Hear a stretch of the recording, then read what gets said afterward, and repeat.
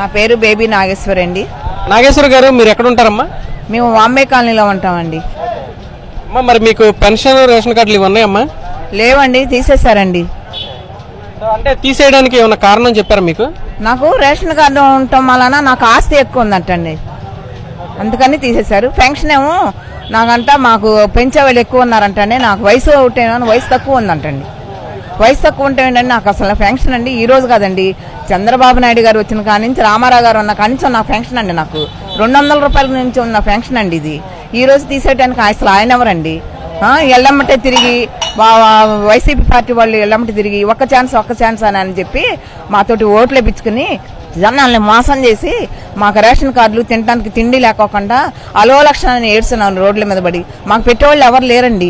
నాకున్నది ఒక బెడ్ అండి. ఆ అబ్బాయి సంసారం ఆ అబ్బాయి చూసుకుంటాడు.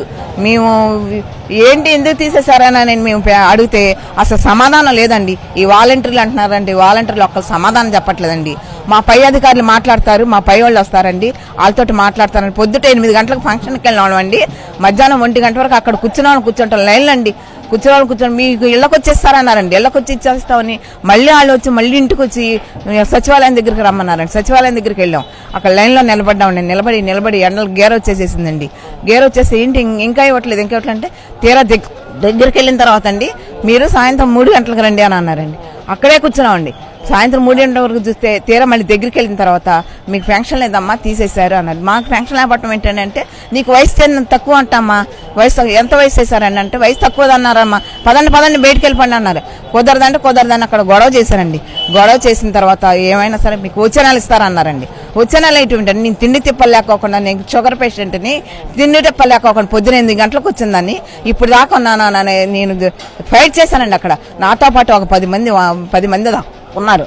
మా వాళ్ళు కూడా చాలా నాకన్నా ఇంకా ఉర్దులుగా ఉన్నారండి. కర్రలు పట్టుకుని నిలబడ్డారు. వాళ్ళకు కూడా తీసేశారండి.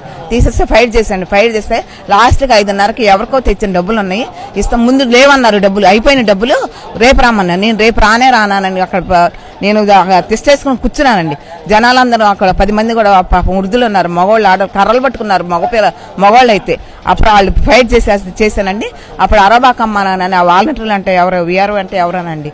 ఆయన వచ్చి నువ్వు అరబాకమ్మ అని చెప్పి నాకు ఒక్కదానికే ఇచ్చాడండి. నాకు ఒక్కదానికి కాదు. ఇక్కడున్న ఈ పది మందికి కూడా ఇవ్వండి. ఈ పది మందికి కూడా ఇస్తేనే నేను తీసుకుంటా. డబ్బులు పొద్దున ఎనిమిది ఎనిమిది గంటల నుంచి మేము లైన్లో నిలబడ్డా వాళ్ళమే. ఇప్పుడు ఐదు అయిపోయింది. ఇప్పుడు వాళ్ళు మళ్ళీ రేపు రమ్మంటే ఎలా వస్తారు? చెప్పండి మా కళ్ళు తిరిగి మేము పడిపోయినాము మళ్ళీ మా మా ఇళ్ళకి దగ్గర నుంచి మంచులు తెప్పించుకుని తాగాము. కనీసం మాకు టీ దాటానికి కూడా డబ్బు లేకు.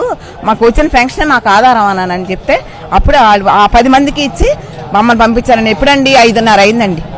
ఇంకా అప్పటికి లైన్లో జనాలు చాలా మంది ఉన్నారండి. అంటే మీకు ఏమన్నా మరి ఆస్తులు ఉన్నాయమ్మా? ఇప్పుడు వాళ్ళు చెప్తున్నారు అంటే నాకు సొంత ఇల్లు కూడా లేదండి. నాకు సొంత ఇల్లు కూడా లేదు. మేము అద్దెకుంటున్నాము. నా కొడుకు దగ్గర ఉంటున్నాను. నాకు ఒకడే కొడుకు అండి నా కొడుకు దగ్గర ఉంటున్నానండి నేను. మేము అద్దె కట్టుకోవడం చాలా ఘోరంగా ఉంది. నేను తెచ్చిన రెండు వేలు ఏదో నా ఖర్చులు కొంటే అని చెప్పి మేము అనుకుంటే వాళ్ళు ఏమిచ్చారండి? నా చంద్రబాబు నాయుడు గారు రెండు వేలు చేశారు. వీళ్ళు ఏమిచ్చారు? రెండు వందల యాభై ఇచ్చారు. మూడు వేలు ఇస్తాను అన్నాడు రెండు వందల యాభై ఒకటి ఏంటండి అసలు. ఈయనెవరండి మా పెన్షన్ తీసేయడానికి.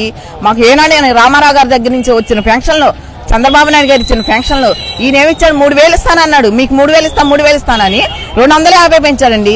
రెండు వందల యాభై పెంచాడు అసలు రెండు వందల యాభై పెంచడం అట్లా ఉంచి మాలో మా పెన్షన్ తీసేయడానికి ఈయన ఎవరో ఈయనకేం అధికారం ఉంది అసలు తీయటానికి?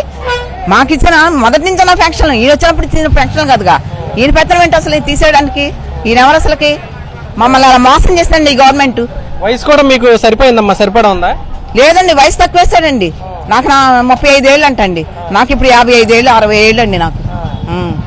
ఈ రోజు కదండి నాకు ఎన్టీ రామారావు గారు ఉన్న కాడి నుంచి నా పెన్షన్ అండి ఇది. అంటే మీకు ఏ పెన్షన్ వచ్చిందమ్మా? వృద్ధుల కోటలు వచ్చిందా? వితంతు పెన్షన్? నాకు వితంత పెన్షన్ అండి. ఫస్ట్ నుంచి వితంత పెన్షన్ మా ఆయన గారు కూడా చనిపోయారు. వితంత పెన్షన్ అండి. నీకు వయసు తక్కువ ఉంది నీకు ముప్పై ఏళ్ళు ఉన్నాయి నీకు ముప్పై ఏళ్ళకి ఏంటంటే అసలు నాకు ఎవరు లేరుగా పెంచడానికి మీకు అందరికీ తెలిసిందంటే ఏమనండి దాంట్లో రాస్తుంది మేమేం చేస్తాం? అని అంటున్నారండి. థ్యాంక్ యూ అమ్మా.